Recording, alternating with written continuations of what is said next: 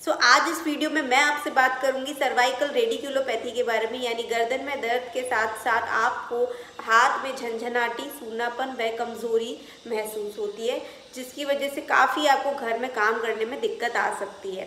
सो so, आज मैं इस वीडियो में आपको कुछ बेस्ट एक्सरसाइजेस और कुछ बेस्ट स्ट्रेचेस बताऊँगी जो आप घर पे आराम से कर सकते हैं और आपकी इस तकलीफ़ पे आपको बहुत अच्छा रिलीफ मिलेगा।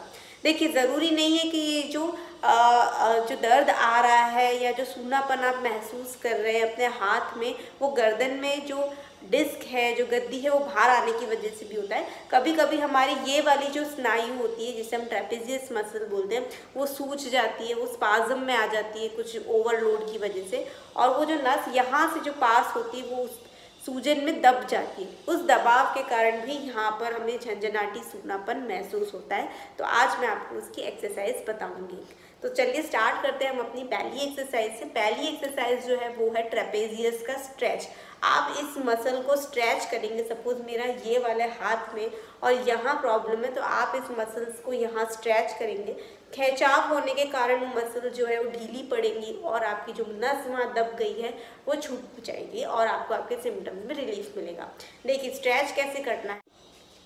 तो पहला जो स्ट्रेच आप करेंगे, जो है ट्रेपेसियस का स्ट्रेच उसके लिए आपको एक हाथ जो है इस साइड की मेरी जो प्रॉब्लम है, वो मुझे इस तरह से पीछे यहाँ रख देना है, इस तरह से और मुझे इस तरह से यहाँ जो है अपनी गर्दन को थोड़ा सा नीचे ऑपोजिट साइड में झुकाना है और दूसरे हाथ की मदद से थोड़ा सा मुझे ओवर प्रेशर देना है।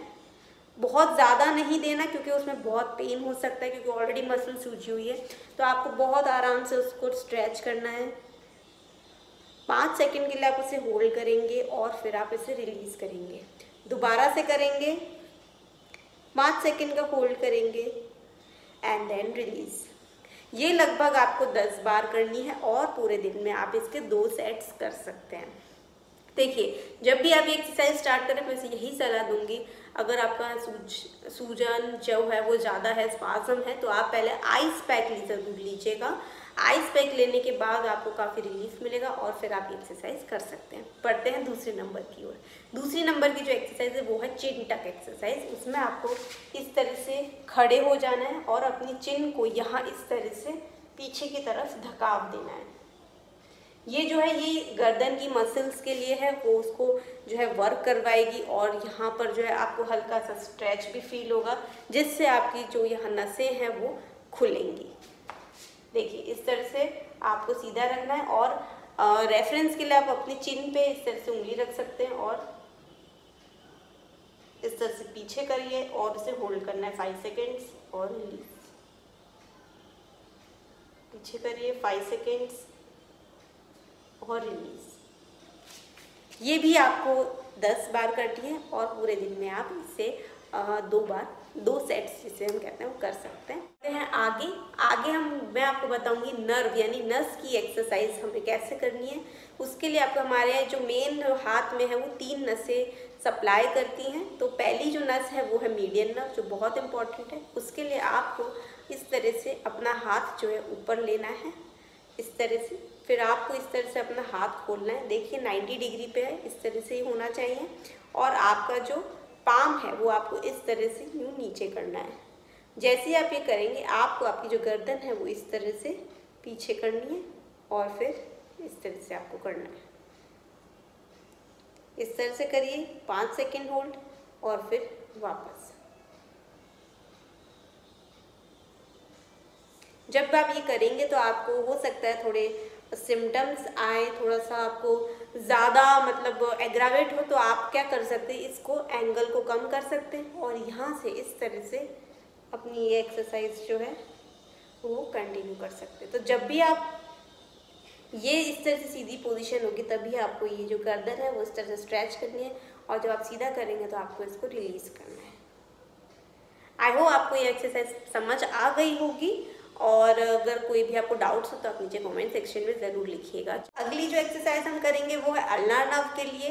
अल्ला नव के लिए आपको ये वाली पोजीशन लेनी है। इस तरह से, इस तरह से आपको चश्मा पहनना है। उल्टा जो मेरा हाथ है, आप उसकी पोजीशन इस तरह से देख लीजिए। ठीक है, यानी ये पोजीशन आ गई। और फिर आपको इस तरह से अपोजिट साइड अपनी गर्दन कर देनी है। पाँच सेकेंड के लिए आप इसे होल्ड करेंगे और फिर इसको इस तरह से आप रिलीज़ करेंगे। तो आपको ये जो है, ये एक्सरसाइज इस तरह से करनी है। लगभग दस बार आप इसके काउंट्स करिएगा। पूरे दिन में आप इसके दो सेट्स कर सकते हैं। ये भी बहुत रिलीविंग एक्सरसाइज है। आपको इससे काफ़ी अच्छा रिलीफ मिलेगा। तो चलिए अब बात करते हैं हम रेडियल नर्व के बारे में। रेडियल नर्व के लिए आपको इस तरह से अपना जो हाथ है वो उठाना है और इस तरह से यहाँ यूँ, ये जो है वो पीछे करना है।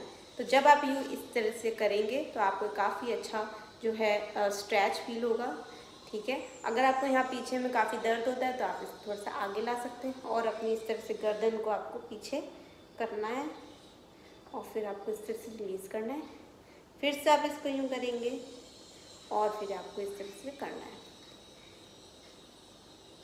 तो जब भी आप ये करेंगे तो आपको यहाँ इस तरफ़ आगे की साइड पे अच्छा सा स्ट्रेच आएगा, नस की जो ग्लाइडिंग है ग्लाइडिंग मतलब नस जो है आगे पीछे आगे पीछे होगी, उसको न्यूट्रिशन मिलेगा, उसकी जो प्रॉब्लम है नस की, वो काफ़ी हद तक रिलीफ हो जाएगी। सो आई होप आपको ये एक्सरसाइज करने में कोई दिक्कत नहीं आएगी। अगर फिर भी आपको कोई भी प्रॉब्लम है तो आप नीचे कमेंट सेक्शन में लिख सकते हैं। ये बहुत ही अच्छी और सेफ़ एक्सरसाइज है। आप इसे ज़रूर ट्राई करिएगा वीडियो पसंद आया हो तो लाइक ज़रूर करिएगा और शेयर करिए जिन लोगों को ये प्रॉब्लम है। और अगर चैनल पर नए हैं तो सब्सक्राइब कर दीजिएगा। Thank you and have a nice day